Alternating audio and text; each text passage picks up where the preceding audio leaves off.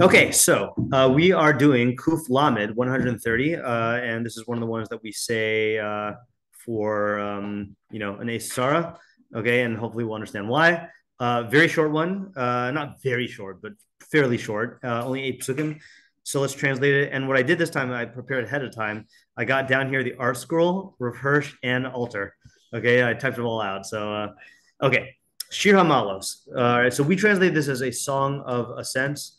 Um, and we have done uh, two of them. We did not have a theory for explaining. Yeah, the uh, 121 is Lamalos, and all the other ones are Hamalos. Um, plain shot is that there were 15 steps going from the uh, lower courtyard to the upper courtyard, and uh, they would sing one on each of these.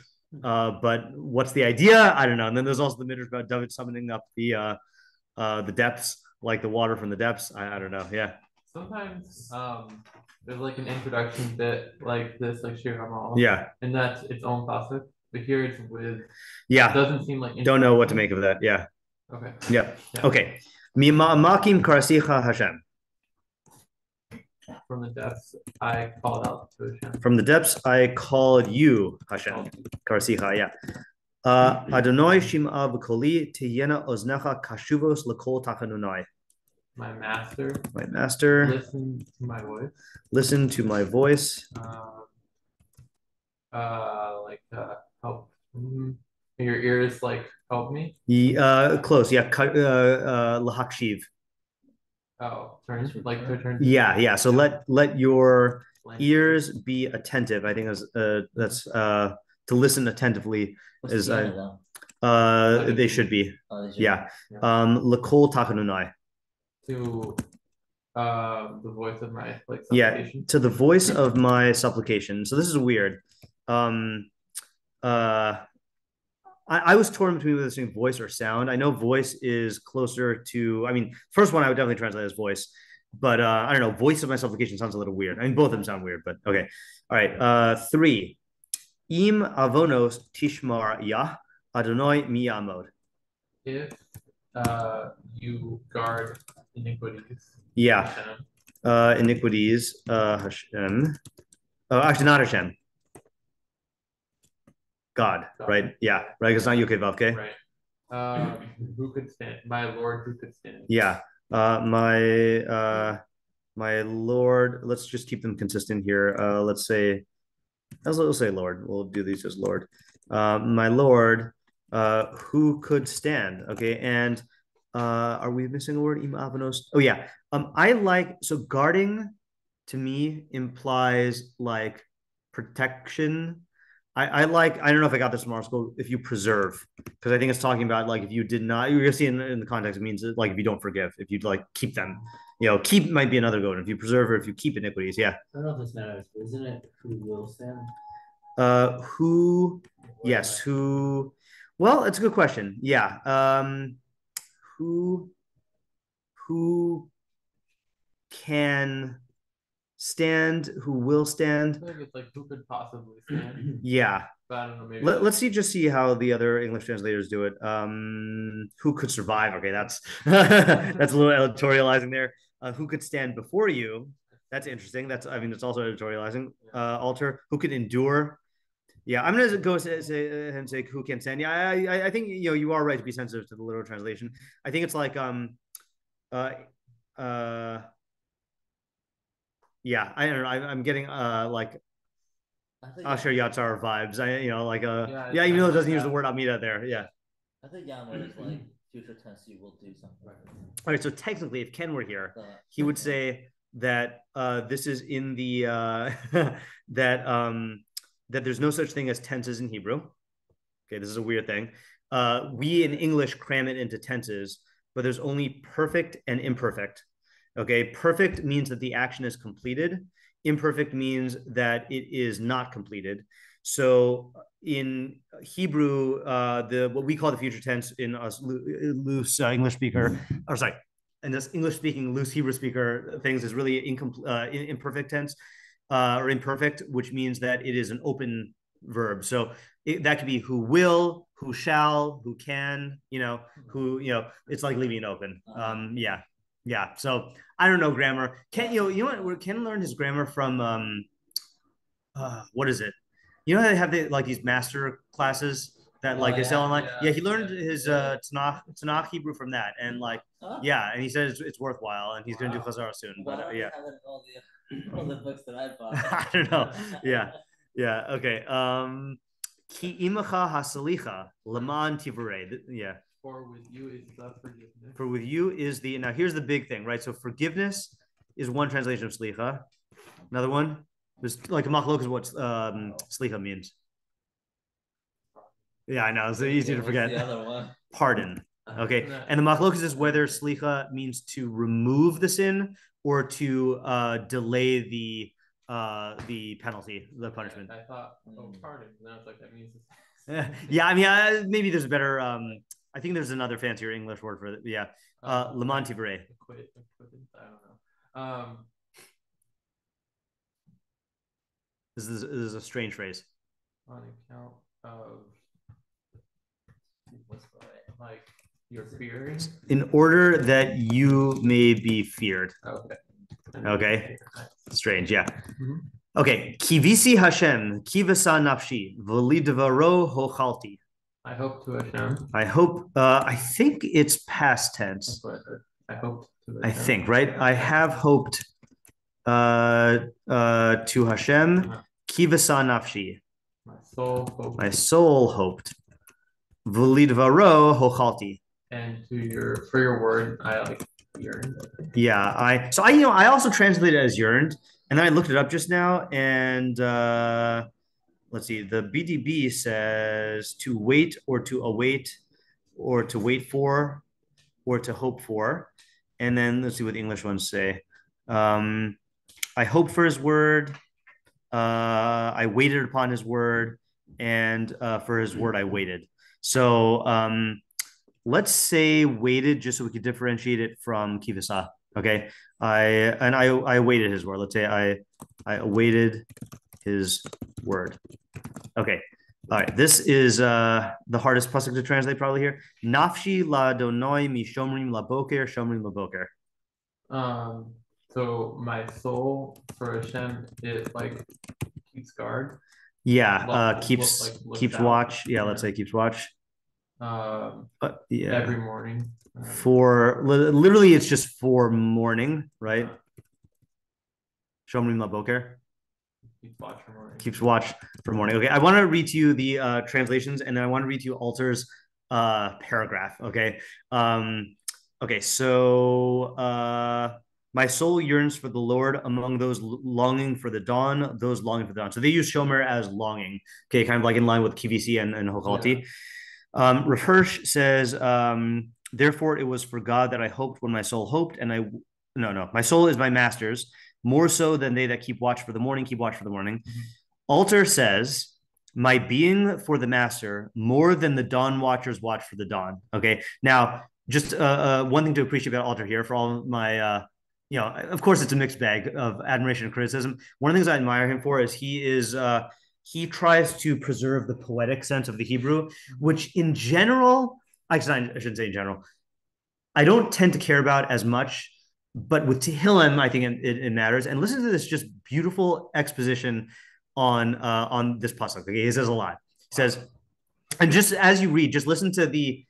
It's, it's more the the derech of how he's appreciating, not for the sake of poetic appreciation, but just the scrutinizing like what the words are doing to your mind or emotions. Okay, so my being for the master more than the dawn watchers watch for the dawn. Previous translators have also applied a predicate here okay, is eager, is turned to, or the King James version's waiteth, duly italicized to show that it is merely implied in Hebrew. But the power of the line in the original is precisely that the anticipated verb, wait, having appeared twice in the previous preceding line, is choked off. My inner being, my utmost self, for God more than watchmen watch for the dawn. The Hebrew noun boker also has the more general sense of morning, uh, but in this context of watchmen, through the night, waiting the first light, dawn is strongly indicated. Um, previous translators render the four Hebrew words mishomrim laboker, shomrim laboker as a simple repetition. Uh, for example, the uh, new JPS, then watchman for the morning, watchman for the morning. But shomrim can either be a verbal noun, watchman, or a plural verb, watch, plural. Okay. The line becomes more vivid and energetic if the second occurrence is understood as a verb. More than watchmen watch for the dawn, I watch, elliptically implied, I watch for the Lord. The force of the image is evident. The watchman sitting through the last of the three watches of the night, peering into the darkness for the first sign of dawn, cannot equal my intent expectancy for God's redeeming word to come to me in the dark night of my of the soul. Yeah. So just nice little like like trying to savor the Hebrew here there. And I do like how he um you know nefesh is the same thing as you know we say atzmo means self, but literally etzem means bone, right? So same thing nafshi um uh means soul, but sometimes it means self. So my very self is Lashen, uh, is Ladoshen, as for my master. Yeah. Okay, so I'm gonna go ahead and just um pilfer uh uh, Alter's here. Yeah. Okay. I like it. Okay. Um, okay. Then we got uh, Yachel Yisrael El Hashem Imar Hashem HaChesed V'Harbe Imo Fidus. Um, Israel will hope to Hashem. Yeah. So I, I, I did I look this up or did I look at the Radak? Um, let me just. Uh, I'm gonna just hold on. Uh, Radak Yachel. I didn't know what to make of Yachel. I think he said Tzivui. Yeah, he says it's a Tzivui. Okay, so I'm going to go ahead and, and treat that as a Tzivui. So hope, O Israel. Um, uh, yeah, for Hashem. Uh, uh, Im Hashem HaChesed. Or only Hashem. Uh, Im. With? Yeah, with Hashem. Uh, uh, that would be within Aleph. Yeah, is the kindness. V'harbe imo fidus. This is a strange phrase. And salvation is great within. Like yeah, much uh, redemption. I think uh, like Pidyon Haben is uh, is with him. Okay. V'hu yifte es Yisrael mikol avanosav. He will redeem Israel from all their. Okay, and he will redeem Israel from all their iniquities. Now, I'm going to go ahead and spoil uh, alert. I'm not going to read it to you from inside because I want to read uh, inside later on. Avon in Tanakh can sometimes mean uh, something else other than uh, iniquity. Um, anyone know? It's possible we have. Oh no, I know what you're thinking. You're thinking of distortion. Yeah, okay, but uh, yeah, uh, the okay. So I'll give you the the test case. So this is Machlokes in uh with Cain. Okay, so what is Cain's reaction after um Hashem uh decrees his um fate? Oh, no, yeah. yeah. So he, but he exclaims something. Oh. Gadol avoni minaso. Okay, oh, so how would you translate that? Burden, burden okay, yeah, right, right. So, so, so some say it's like a vidui. He's saying my sin is too great to bear. Okay. Some say though it that avon there means onesh. Okay, and I actually forgot what oh. Onkelos says. I just want to check Onkelos because that would be a good uh, authority to quote um, for this. Um, Kayan.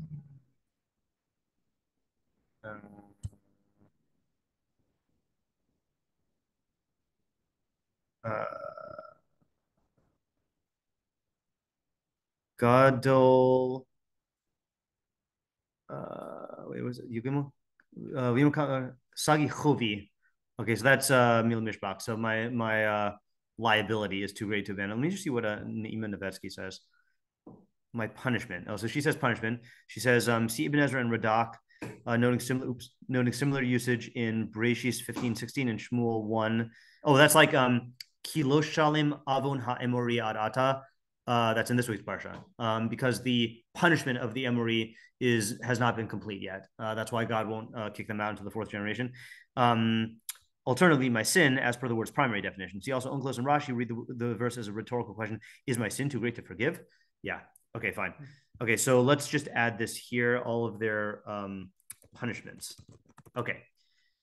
Whew, okay. Yeah. So um, Right. There you go. Okay. All right. So uh, here, the pivot is not so obvious. Anyone want to theorize where the pivot is and why? I'm going to go ahead and actually copy and paste this into the chat for. Uh... Does there have to be a pivot? I have. Well, you know, there's this theory about the pivot, and so far I have not seen exceptions. So uh, I'm going to look for it. I have. Yeah, where's your pivot? Five. Yeah. Okay. I agree with you. Why?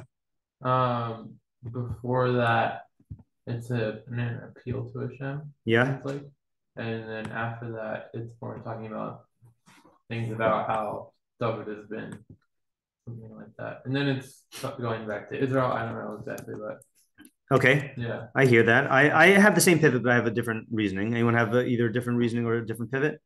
I understand. Yeah.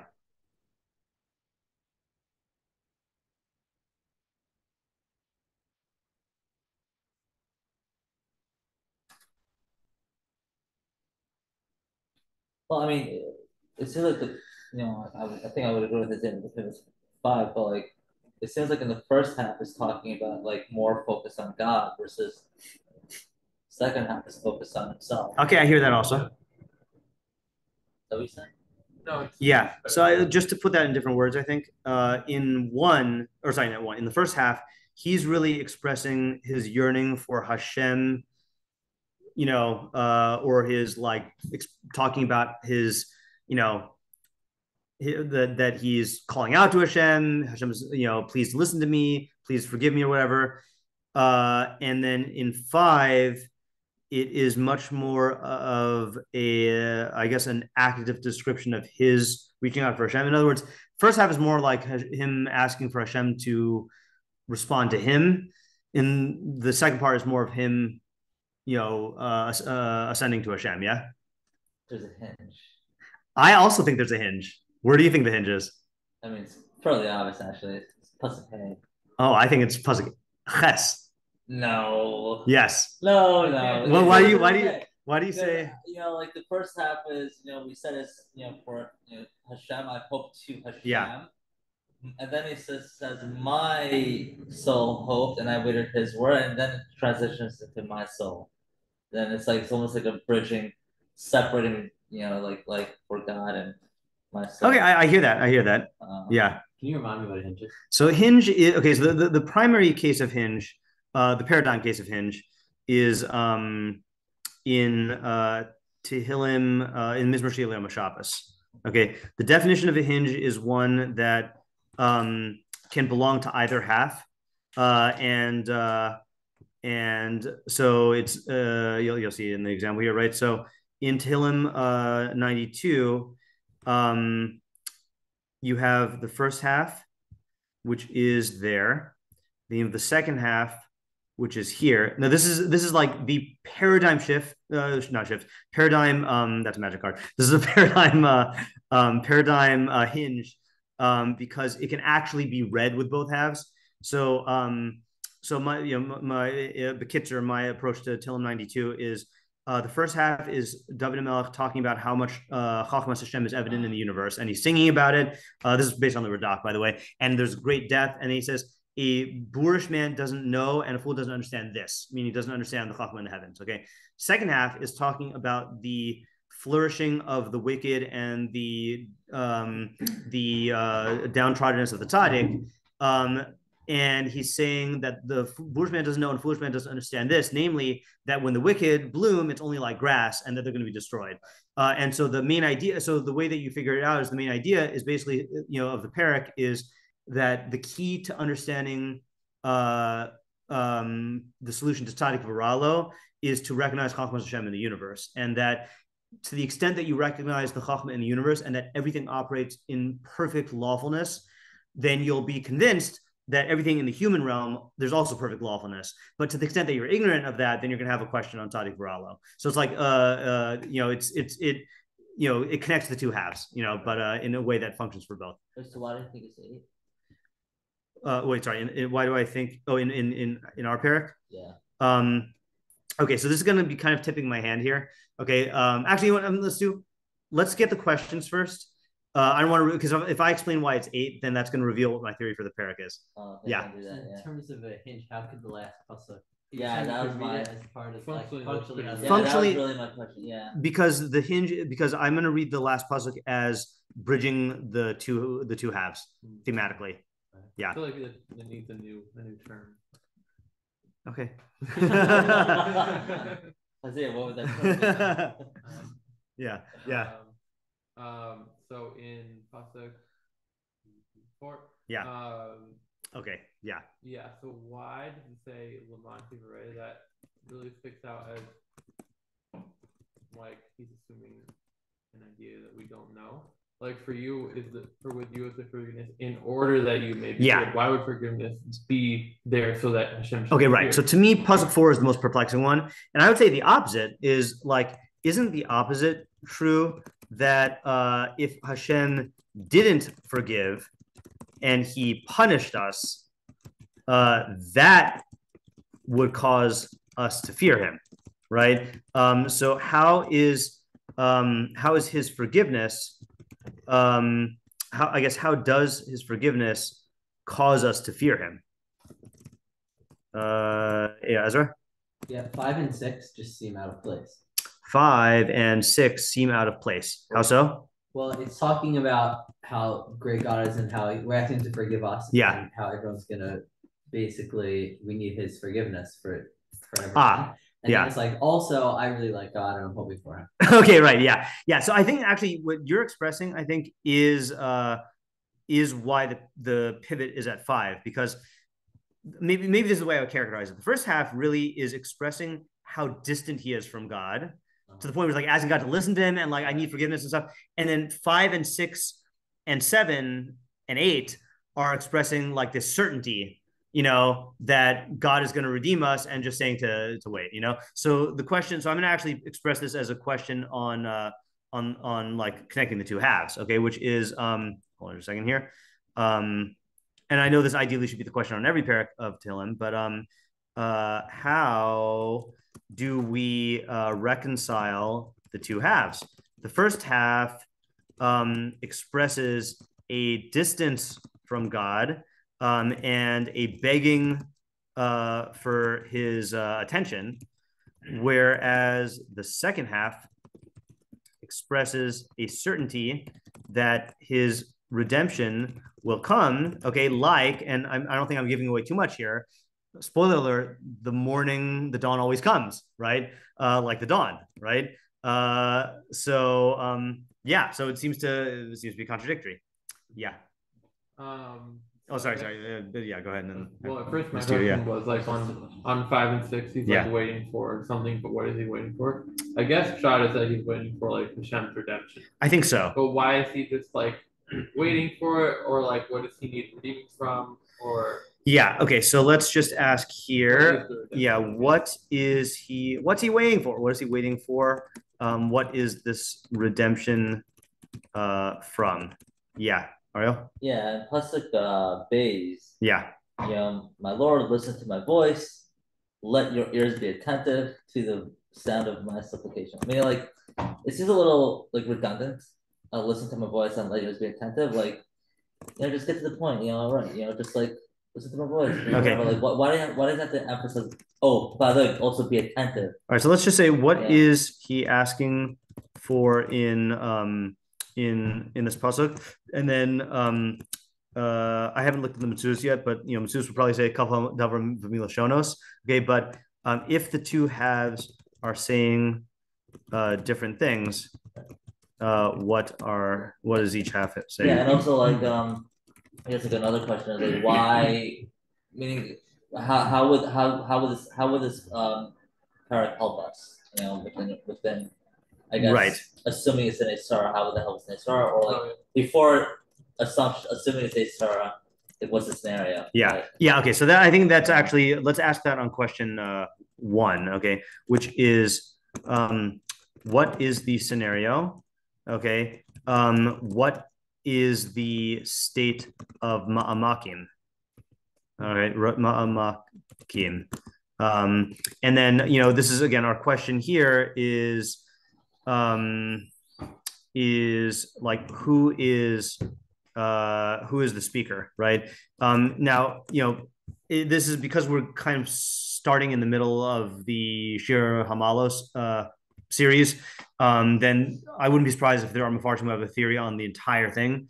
Uh, but you know, we will we're just learning once. We'll ask it here. Yeah, It's a weird question. yeah, But I feel like in Tehillim and other prophets, we've seen David get um, a lot more worried or like like uh, desperate sounding or like almost like schizophrenic a little bit. Yeah. we said. But here, like he's like this is really like calling out from the dead. So we don't see any any other hints to like how bad the situation is or like what the negative situation is or like Right. really any like even in the first half he's just asking to be heard but he's not stating that he's Okay. in trouble Yeah, that's a good observation. Okay, I like that observation. Yeah, you're right. You're right. That's uh, not typical from what we've seen. Yeah, no, no mention of enemies breathing falsehood. yeah.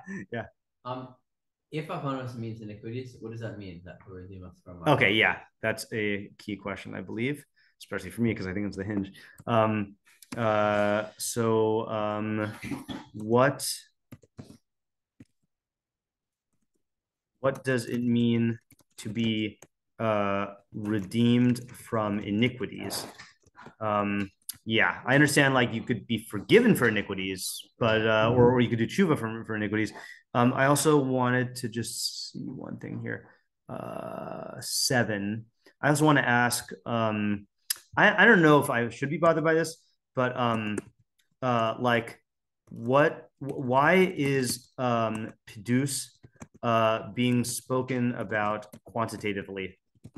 Right? It's like there's a lot of Pidus. There's a lot of redemption. Like it's just it sounds weird. Yeah, Ariel. Um, yeah, for Gimel, Oh, and Ariel is next. Yeah, I didn't see. Yeah. if, right. So for Gimel, what does it mean? You, uh, if he preserves iniquities. And, Yeah. And, and what does it mean that and who can stand? Who can? I mean. Okay, so uh, let's just say, uh, uh, what does this mean? What would it mean to uh, preserve iniquities? Um, what is the question of uh, who could stand? Yayala? Okay, this may be included in question five. Yeah. But um oh sorry, not question five, maybe question six. Yeah. Yeah, question six. But it seems like in some way that there's like well, first of all, I guess what is this like hoping and what does it do? And it seems Okay. like it's connected with like tefillah and hoping are what brings about redemption. So like I guess to the second half of question six, like is that what's doing it and how? Okay, I'm gonna I'm gonna make this a separate question. What is the act of uh, hoping? Okay, like what does that accomplish and how? Yeah. Okay. Uh, yeah. This is um kind of the same question, but it's pretty much if if there are iniquities, isn't what you need to do to shoot up? Yeah. Um. Okay. we Uh. know that about Yeah. iniquities. Isn't um. Isn't uh, you know uh isn't the response to iniquities uh doing teshuva? Uh, okay, rather than hoping, uh, hoping for Hashem's redemption. Yeah, yeah, Ariel? Yeah, I guess like uh, I guess like what's the subject of matter of of this this perek and like like what's the message it's supposed to convey? yeah. Um, okay, so I'll. I mean, the, the, the, you're really uh, asking here. You know, Adler's first question, Adler's second question, uh, fourth question, right? So, what is the the subject or main idea of the perek, and then what is uh what is the perek for? Okay, I just want to make one observation as well. Um, so you may have noticed that there's some repetition in here. Okay, but have you noticed how much repetition there is in here? I went and I color coded it for you. um, uh, this is not a question; it's just observation here. Okay, so you have here, uh, my lord, my lord, my lord. Mhm. You have iniquities, iniquities. You have guard, guard, guard, which obviously are being used in different ways. You have with you is forgiveness. With you, Hashem, with him is redemption. You have hope, hope. You have my soul, my soul. You have uh, yearn, yearn, or wait, wait. You have um, La Boker, La Boker. You have Yisrael, Yisrael. You have Pedus and uh, and Yif. You know, Hmm. um, so again, I, I, don't think there's any. Uh, sorry, I don't think there's any ideas we can get from that.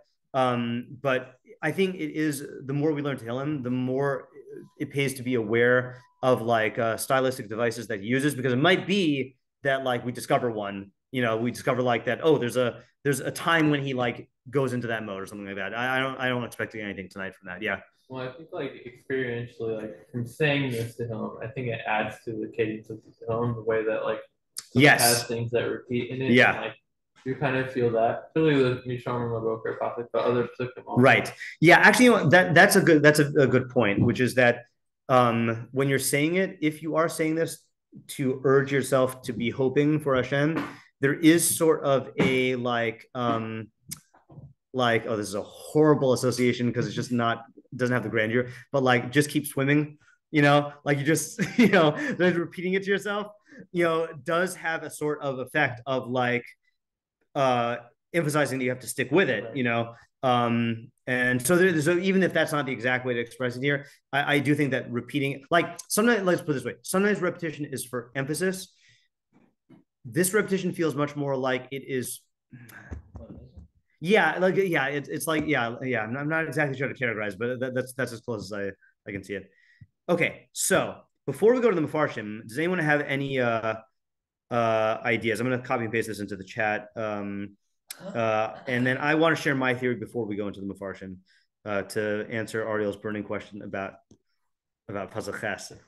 Yeah, Isaiah. Oh, yeah, yeah, yeah. Um, So I'm hoping I'm not. Um, Hope. yes, I'm hoping that I haven't been like tipped to your theory too much. That's fine. Um, I chose to I tip. have no idea.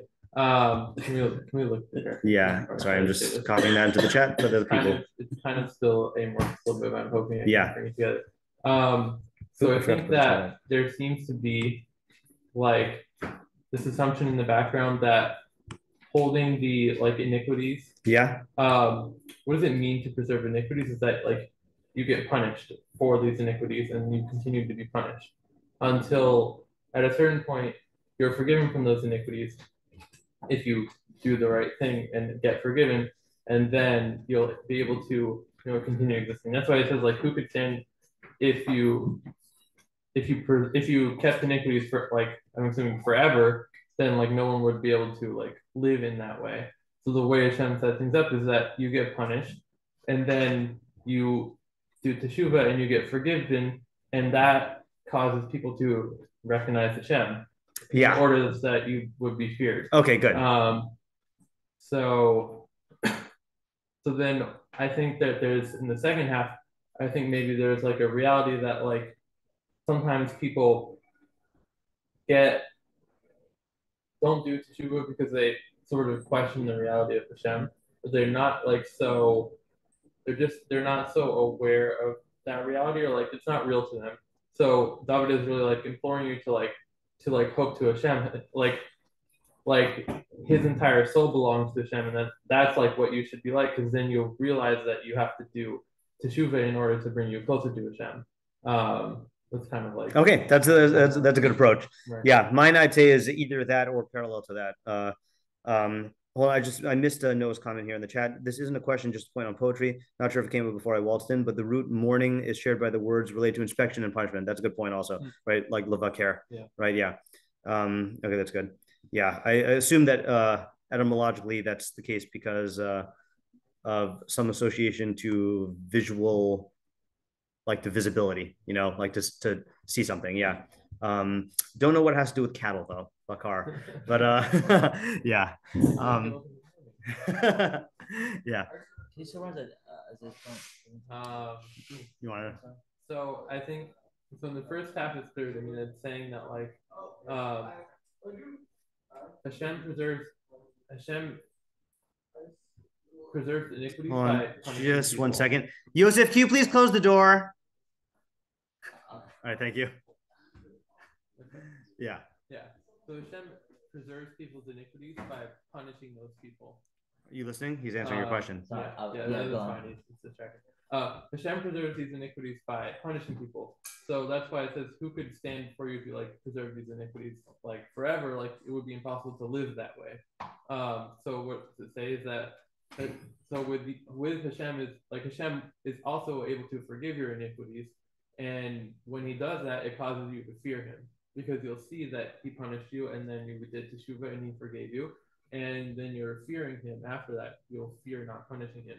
So I think the second half is like imploring the people to realize that Hashem is the ultimate reality and that they should do teshuva, um, so that they will have that recognition. But I'm not sure how. Yeah, I, I think you're well on your way to getting a unity, but I think the unity needs to be stated here. So what's the difference? So so how are you explaining preserve? Um, to not forgive, right? to not To not forgive. forgive. Yeah. Yeah, yeah, right. And you're explaining, but with you is it forgiveness? But when you do forgive, though, it causes people to be feared How? because they saw that Hashem was punishing them, and then He forgave them. But now they know that Hashem can punish them. But where where do you see that he punished them in the in the first half? In the first half, that's why I'm saying that preserving iniquities is is, is punishment. Because otherwise, who? Why would it stop people from sinning? Okay, so I, I think the place we need to start is from the beginning. Okay, which is what is ma makim? What would you say? So I th- there could be uh there could be two I can see two things. Okay. There could be two things. Um you know, just something I was thinking about. Either it's you know you you're you're so steep in like you know like like off the derech type of situation Yeah. and like you're just looking for truth like you have like a like a realization like I really gotta fix myself Yeah, like I need help. Yeah, that's one thing. Or like you're just in uh you know like like in in in the in depths like in really in a really bad situation like a summer that's Okay.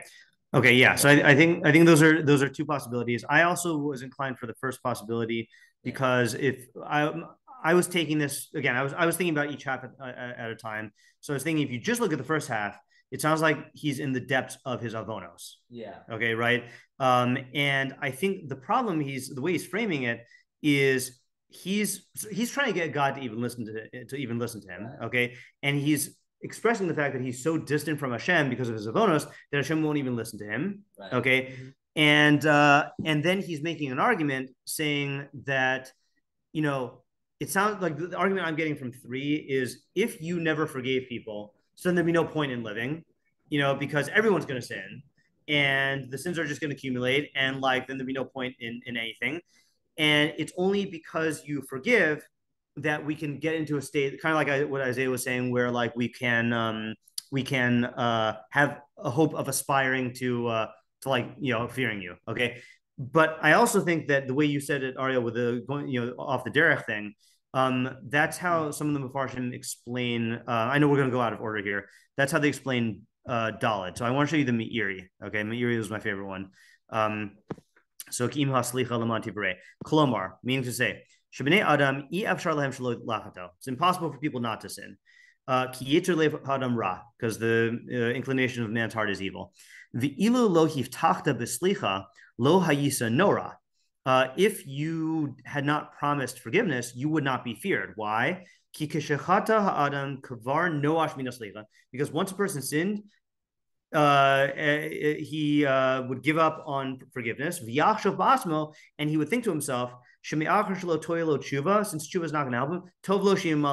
Then screw it. I might as well just go and fulfill my desires. V'nimsa, consequently, God's promise for slicha is the cause of him being feared right? And Radak says something similar, uh, which uh, you can just look at it if you want to see it in his language. He says, um, uh, in the name, oh no, actually, skip his father's interpretation. Uh, yeah, uh, Ibn, Ibn Ezra. He quotes Ibn Ezra. Maybe we could just look at him as well.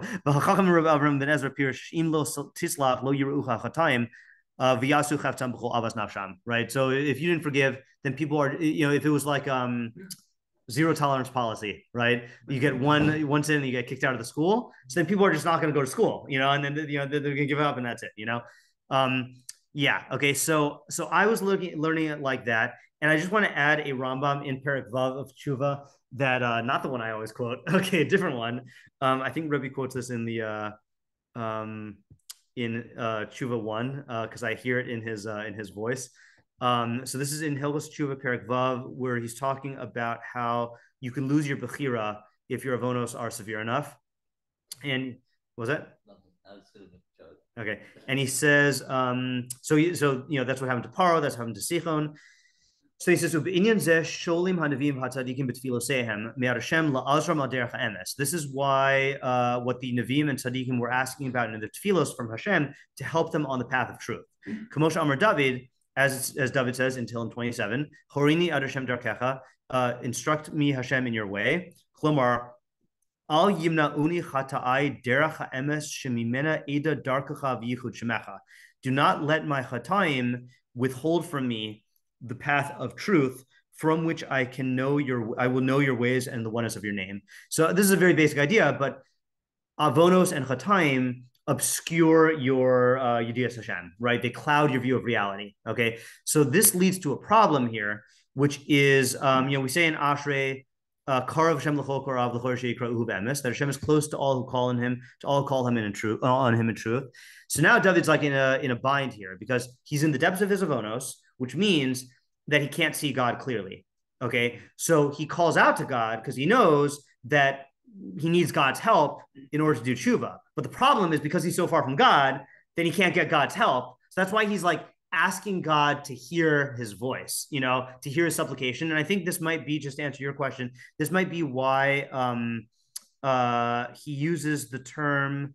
Um, I don't think it's teaching two different ideas. I think the first thing is Shema B'Koli is listen to my voice, but then this is an explanation, which is be attentive to the sound of my supplication, right? Supplication is asking for something you don't deserve is for matnas So he's acknowledging that I can't, um, you know, I, I don't deserve this. And it's possibly saying to the sound of my supplication, this is total speculation on my part, but I think it's poetic and it works, which is that David doesn't even know that he's asking for the right thing, but but emotionally and intellectually, he's acknowledging I don't deserve this. And everything he's saying is just like expressing like that sentiment. So he's saying like, listen, like I might be saying the wrong things. I might be distant from you. I might not be, you know, have be worthy of my uh my words being listened to, but like listen to the sound of me supplicating, you know, um, and recognize, and this is where he switches to the argument. He makes an argument to Hashem. It, it's in your best interest I don't mean that you're going to benefit God, but I mean your plan is for human beings to fear you, right? What did Moshe Rabbeinu say? Uh, uh, just to fear God, etc., etc. right? So you want to be feared, Hashem, but if you don't forgive me, if, if you don't forgive those who sin, then everyone's just going to go out and do chatayim. So it's so I I recognize I don't deserve it. I recognize I'm far from you, and I'm just asking that you forgive me so that I can be in line with your will to eventually fear you, which is what you want. That's like the first half. Yeah. All right, I I have a couple of comments. Yeah. Um, and like a like a variation. Sure. I was thinking a little bit differently. Sure. And a, a couple questions. Okay. Right. So I'll, I'll, I'll just start with the comments. So like I was thinking that like you know really like the, this tefillah is at the end of the day every tefillah is for themselves, right? Yeah you know, so like for a guy who's like going up to Darab and is so steeped in his Avonos, you know, I you know, I was thinking that maybe like, you know, the, the redundancy in the second pasuk is, you know, like he may feel so out of it that like he, he may not even feel like he's even being worthy of being heard. Yeah. But that's not the right attitude. It's not the right framework you should have because like, you know, um, because it could be a deterrent, right? So right. I think I think he's emphasizing that no, like like God hear me as it's more of like for himself, like you know, be more persistent with with yourself and letting yourself allow God to hear you. Yeah, I see what you're saying. In other words, you're you're you're saying that he is by saying to God, "Listen to me," he is affirming to himself that I am yeah. worthy of being listened to in some framework. Everyone, an, everyone is able to do shua. Right, right. Everyone. Like, right, that's a good idea. Yeah. Think that like you, you, I might not even be able to do shua yeah. because of where I'm at. But right. no, no, you are. You just have to just just keep on pushing through, my man. that's a good shot. I like that. okay. Yeah. Yeah. So so um so now the third pasuk is if you preserve keeping it that so like maybe it's like like look like um and I'm gonna use this as you know like like he's actually punishing you. Like look you, you could punish me but at least let me do tshuva you know? Like for, forgive my sins. Like don't yeah. let me just like right. Let the sins be taken off the record if you you know don't keep yeah, them right yeah. chance, yeah. God. right. Right. Yeah. So yeah so that's how I was thinking about it. And um what were the questions that I had? I don't remember. Okay no those are those are two really good approaches. I like that. Yeah. Okay now let's yeah Ayala Okay, also two questions. Sure. First question on Pasuk 4. Yeah. Is it okay, is it saying or I guess are we explaining it as like a psychological thing that if Hashem if there was no like slicha, then Hashem wouldn't be able to be feared because we wouldn't like psychologically be able to fear Hashem because we just like go off and do yeah. other things yeah i mean it's more than psycho i mean it's caused by the psychology is that that we would give up hope and then we would go and sin and get even further away from god. But it's the, the it is the um it, it's the actual fact that we would spiral off into doing sins. It's not just like in our minds you know? Yeah. Right. Because I could see like another possibility which I was thinking was like that humans were created to fear God whatever or like that our purpose is to fear God like the pasuk that you quoted. Yeah. And that it wouldn't be possible just because there wouldn't be any humans left kind of. Oh that's interesting also. Yeah. You meaning it's an extension of the mi ya'amod argument. Yeah. Okay. I, I hear that also. Yeah. I was also thinking that uh that maybe it's just referring to the fact that we would you might think that this is the same thing i said before but it's not. Uh that given what the Meiri said we would just go off and do a bunch of sins and then that would not be a state of fearing god yeah yeah because uh, I know this. I was thinking like fearing God, like I guess fear of God could be two things. Fear of God could be like yiras type fear of God, where we're obeying His word, or yiras Hashem could be the ultimate pinnacle of your uh, of, of of like all of God, like in the Hilchos Torah two two. You know, uh, I was I meant it the first way, or I meant it the second way the first time, where like we would not reach that state of perfection of yiras Hashem, like Moshe Rabbeinu was talking about, but it could be just more simply, we're just going to go around sinning all day, and we're not going to be in a state of yiras chait, and both of them are bad. Yeah. All right. Uh, I remember my question. Yeah. And I and I think something you just said is um. Uh, first of all, how how are you explaining that if you forget if he forgives, he'll be more fear? Because it's I'm saying the Meiri's interpretation is if God didn't forgive, there would be no hope in doing tshuva, and we would just go sin. So the fact that forgiveness is a possibility means that you can do tshuva, be forgiven, and then you'll be on the on the right path again. Okay. Okay, I have a, I have another comment on that. Yeah. One is um like it's also like another argument another argument could be like like God if you let me uh if you let me do tshuva like I'll be a be- I'll, I'll be a better person and be you know I'll be more perfected for the for the greater good of the system. Yeah. Like um yeah meaning like yeah you could just punish me now and kill me or whatever. Yeah. But like don't you want me to like per- perfect myself? Uh, like Right. Yeah. Uh, yeah. You, you can say Like, that. Wouldn't be like? I mean, you uh, could say that, but I mean, isn't um And I feel like I- I, I know that's not what he says, but like yeah, I, I just don't think it flows from the words as much as the what were as what the other approaches were saying. no, no, no, I'm not saying, I'm not saying. Are you saying it's uh, another argument you can make? Yeah, Yeah, it's another argument you can make. Yeah. Yeah.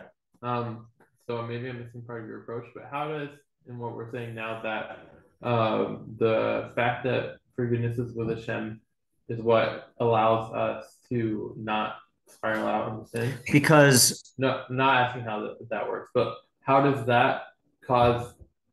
How does that work as an appeal to someone to do teshuva? Because, like, okay, that's how forgiveness works in general, but you have your own sin that you're steeped in. Like, why does the fact that that's how the world works? So I actually don't think that this is an appeal to get a person to do tshuva directly. I mean, I think that's the implied like framework of it, but it really is. It's essentially what he's asking for is for God to forgive him, you know, or to pardon him, you know. Um, so that's really, and he's made. That's why he's making an argument in God's framework. That's why I think it is a candidate to say that this is not asking for total forgiveness. This might be asking for, um, you know, a reduction of the punishment so that I can have more time to do tshuva, or I can, you know, I can be facilitated in that. Yeah, uh, Ayala. Okay, so it sounds like we're describing it as like this is like a state of like being steeped in sin.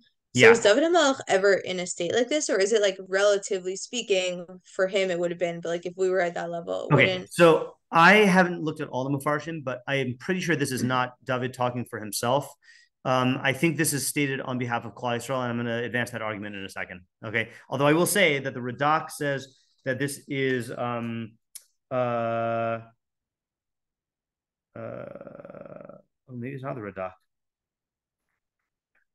Someone said that this is the tefillah of of every chassid uh, in Golos. Yeah. Oh, Okay, so let, let, me, let me transition to my theory. Actually, before I do that, I'm going to make a point because otherwise I'm going to forget it. Okay, this is a general point in how to say Tehillim. Okay, we've just really fleshed out like what state of mind is being expressed here. When you're saying this, you should tap into that state of mind.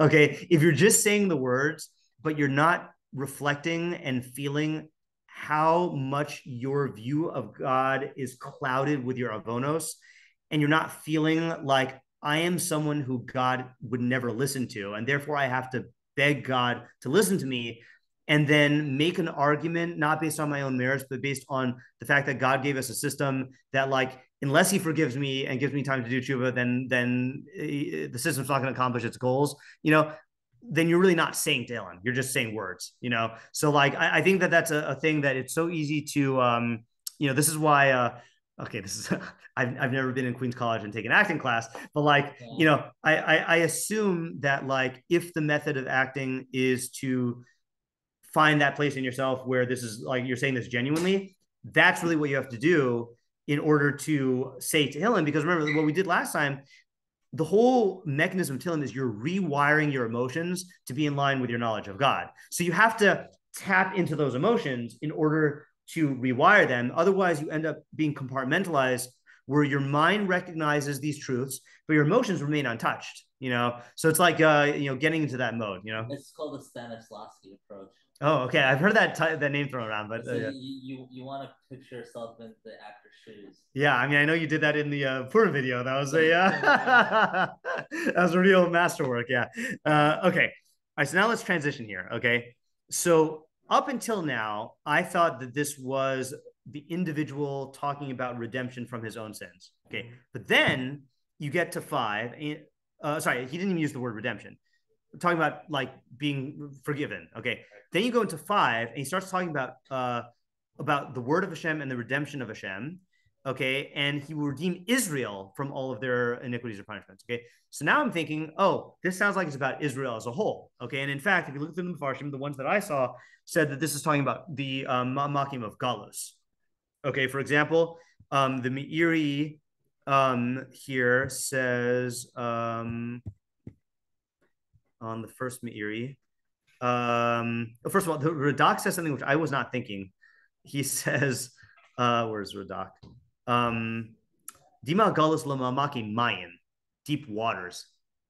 I wasn't thinking deep waters. I was thinking of like a pit or something like that, you know? Mm-hmm. Um, okay, fine. But uh, Meiri says, Gamzos Hamala Nemar al Bnei Hagalos. This is said uh, um, from this perspective of the Bnei Galos. Tefillah HaGeula. They are us no that. Oh yeah, Mimamakim. Rotalomar mi omek hagalos umi mevuchos hatzaros, from the depth of galus and from the confusions of the tsaros. Okay. So now I'm thinking, um, okay, so I don't want to throw away the theory I had for the beginning. Um, but this is now talking about redeeming Israel from the galus, and it's talking about this is one, you know, we asked, how could he be certain of this? So there is a certainty. God promised us that he will be, uh, he will redeem us from, uh, from galus as a nation. Okay. But how do you tie it together? That's the hinge. Okay. Is you would expect it to say at the end, if this is about redemption from Galus, that he's going to redeem us from our sorrows or from our Galus or from our Mamakim. But no, he will redeem us from our Avonos. Okay. Because Ein Yisrael Nigalin Ela B'tshuva, right? That is the principle uh, that the, I don't know what the source in Chazal is, but the Rambam brings it down in uh, Tess, uh, Nigalim. Hold on. Yeah. Uh, Kol Navim Kulan Tziva Tshuva. This is in uh, Zion Hay. All the Navim uh, commanded about Tshuva. Ve'in Yisrael Nigalan Ela B'Tshuva. Kvar Hivticha Torah Shesof Yisrael Lasos Teshuva B'Sof Galusan Umiyad Hein Nigalan. Right. The, the Navim promised. Uh, the sorry, the Torah promised that at the end Israel will do tshuva at the end of their galus and immediately will be redeemed. Shnemar, as it says, it will be when all of these things come upon you, the blessing and the curse. Asher nasati lefnecha, uh, that I have uh, placed before you. You shall take it to your heart amongst all the nations that Hashem cast you off there. You will return to Hashem your God. You'll listen to his voice. As everything, like everything I commanded you. Hashem will return your your uh, your returnees, I guess. And he will have mercy on you. And he will return and, and gather you in from all the nations that he uh, that he scattered you there. Okay, so that's the tie here. Okay, which is that the first half is talking about how you feel so distant from God that he's not even listening to you. Yet it is part of his plan to forgive you because otherwise human beings couldn't last and people would just spiral off into hate. Okay. On the other hand, you have a national promise that God will redeem you, and you can be as certain as that as the watchers are certain that the dawn will come. Okay. But so how do you reconcile those two things? We're so far from God, but like he promised, well, there is only one path, and that's through tshuva. And the way that the the that that the gullus is gonna the geula is gonna come about is through us doing tshuva, you know. Um, and that's why I'm saying that thematically, I'm saying eight ties the two halves together. It ties together the theme of of being distant from God because of our sins, and it ties in the theme of redemption of Israel that is certain. That's why I'm saying that uh, that idea. Now I don't. I I feel like I've gotten ninety percent of the idea. I feel like we need to like. So what do we? What do we have? But you understand the why I'm, I'm saying eight is the one that ties both of them together now. Yeah, can I try can I restate it to make sure? Sure. Yeah. I get it? Yeah. Uh, so the first half is talking about re- redeeming our iniquities, Um. or saving our, or s- saving, uh, um, allowing us to shiva. Right. Yeah. It's really. I, I'd say it's expressing a. Really, what we're expressing here is Hashivenu Hashem Elecha v'Nashuva, right? Is we're, we're, we're reaching out to God to relate to us and to give us pardon so that we can like come close to him and do tshuva and stuff like that. Uh, but we're not even talking about redemption from uh, from uh, of Israel yet. Yeah. Okay. Then so second half. Five, five through seven is talking about redemption. Yeah, redemption Israel? for Israel. So, so where do we see that in five, six, and seven? Well, um, he's saying he's hoping and hoping, and it's going to come. What's going to come? He says redemption. Okay, redemption, and uh, and he will redeem Israel.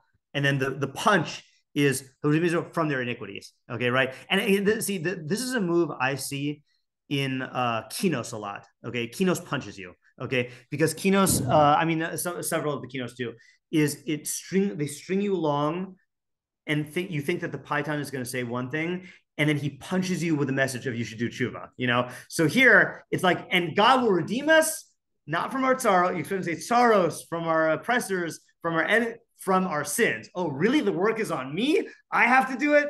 You know, uh, and that that's the uh, that's the punch. And that was again that was my um that was my bone to pick with the uh, with the Asifa. You know, uh, um, that the first Rav said we need to do tshuva from all of this stuff. Second Rav just said said just trust in Hashem. He has a plan. You know, he'll redeem you. yeah, he'll redeem you. You know, and like. And there was acknowledgement that that like we need to have achdus and stuff like that. But there's no real. We need to completely change the way we think about things. You know, yeah. um, and so like that, I think that's the that, that- that's the punch. And so in terms of the way that this is supposed to work, let, let me just talk it through a little bit here. The way that this is supposed to work is when you say this, you have to start off in the first half by by really feeling how distant you are from God because of your avonos. Okay, you have to recognize the danger that there is a part of you that wants to say, "Screw it, I'm doomed." And I might as well just live however I want.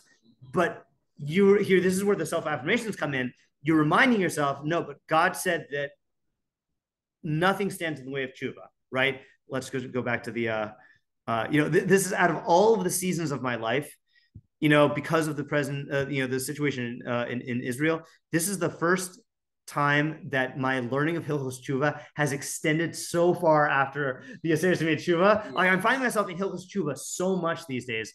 Um, but at the end of Hilchos of Perak, Thank Hamas for it, I guess. I mean, I mean, honestly, I mean, yeah, um, yeah, um, yeah. At the end of the Perek Dalet, where it's all the things that are Ma'akiv Shuva, he says, "Kol elu ha'davarim b'kiyos men." Rafesa quoted this on uh, at his house on Friday night.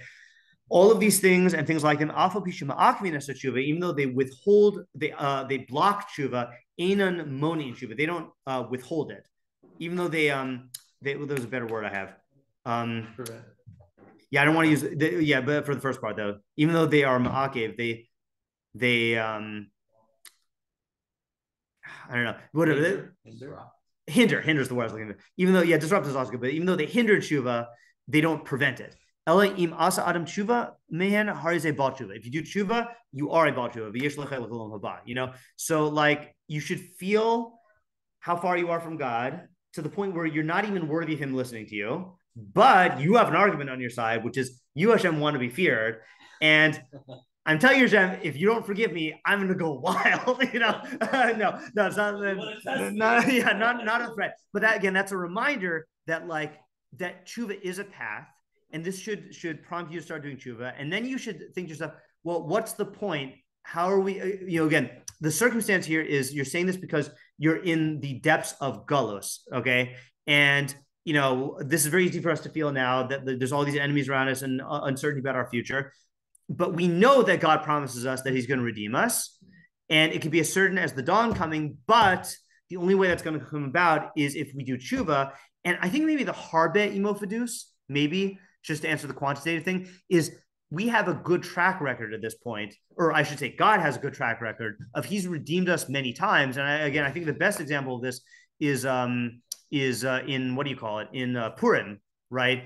That uh, you know they did tshuva there and they got redeemed uh, and the whole situation turned out instant turned around instantaneously. Let's go clockwise. Yeah, Isaiah. Um, so this might not be a question that applies in your idea, but would you say that there's a section in the teshuva process that this is being said from? Like, um, like is this someone? Is the person who's talking, especially in the first half, someone who's still doing the sin, or has stopped doing the sin? But I, I think you could still be. Uh, I think this could be said when you've uh, you're still doing the sin. You know. Yeah. You're the the, the the the the category is you're still tainted by this tainted by the sin. You know. So whether you're still doing it, whether you've stopped it but you haven't done tshuva yet, I think it fits in all those. Yeah. Um, this may too broad of a question, but I always sort of feel uncomfortable when we try to force God's hand and like say, "Oh, you're because if this is your plan, you Yeah. told us this. Now you have to go, so you Yeah. have to do this." Just reminding him. I always think it's So it's like, I mean, I don't know. I don't really have a specific question, but it's Yeah, kinda no. like, So that, that's why I tried to like backpedal a little bit by saying that really what you're doing is you're reminding yourself that the only reason why God is forgiving you is not a freebie. right. It's so that you can be involved in uh, the path to Yiras Hashem. And I think actually the Sforno brings in, uh, you know, I felt like I was um, uh, just caught up on uh, Parakhov Zion because we learned it so much. Uh, but turns out Sforno brings it up as much as I do. okay, he says uh, here, um, uh, that's Unkelos. Uh, Sforno says, um, But, but ultimately, it's really for for us. It's for us. Yeah, yeah. Like, you know, we have to frame it in a way where like we we can motivate ourselves. You know, hold on. Yeah, exists. yeah, I thought Sforno says it. Uh, he says, I thought he brought up maybe it was the Elliot Denola. Uh, he said the um, the Akash Alti, I think, or the wait, Lachas Lachazos. Yeah, here we go. Oh, it just isn't quite. Yeah, Nafshi Lashem. What does it mean, Nafshi Lashem? Misave Lachazos Benom Hashem Levakar Beichalo. Right. All, all I really want to do is to contemplate God's uh, chachma and then be involved in actions that are in line with Yis Hashem. So that's really what we're we're we're not forcing God's hand. We are recalling an argument of God, which is that the only reason why God forgives us is so that we can do tshuva, so that we can be on the path to fearing Him. But it really is for us, so we can fear Isn't Him. it also true that, like, it does seem true, like God created this universe for, I mean, in a certain sense, for us, for the people to recognize Him, Right. and the only way for in which people recognize Him is if we, if He Yeah. That's why uh, the Midrash, which I only know how to quote from the Rashba in the Perush Ha'agados, says that uh, one of the seven things that was created before the world. Uh, anyone know what seven are? Oh, there's, I think there's a million different lists. yeah, I know. I was kind of hoping you knew this one. the rainbow. Uh, no, not the rainbow. no, that's not what it is.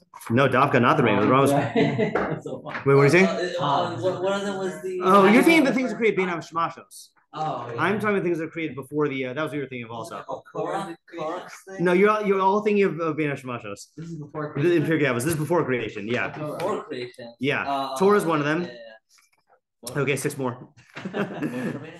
uh, no. Is it Shabbos? Shabbos. Uh, I don't think so. Okay, if I can't find it, I'll have to just post share it later on. Um, I know one of them is the name of Mashiach. uh, wait, here we go. Here we go. Yeah, this is in uh in Nedarim. Lam Tes Hamad Beis. Shiva Dvarim Nivru Kodem Shnivru Ha'olam. Elohim Torah, Tshuva, Gan Eden, Gehenom, Kisei HaKavod, Beis HaMikdash, and Shemo Shel Mashiach. okay. You want to know why? Because he never creates something bad without the uh, Ah, the what's it called? the cure. Yeah, the cure for Yeah. right. Never. Yeah. So I, I believe the reason why he says tshuva was created before um uh before the world is because of exactly that what you're saying is like man is gonna sin, but like so you know uh, uh this was like contemplated in the act of creation that like he, he gave a path of tshuva, you know? Yeah, so that's uh yeah. So did we answer the, that last ten percent of your idea? I think so, yeah. I, I think we know uh, so let's just put it all together. Yeah, yeah, I'll get Ayala first and then we'll put it all together. Yeah, Ayala? Okay, so in the first little half, when we're so- asking Yeah. for Hashem to save us, are we asking like to save us from our physical tzara, or are we asking like I remember in other prakim we've had, like asking Hashem to help us along in the tshuva process? Yeah, so I I'm gonna go with the Mefarshim here that that the depths is the depths of Gullus. Okay, it seems like that's the, the standard interpretation of here. Okay, so let me let me walk it through from the top.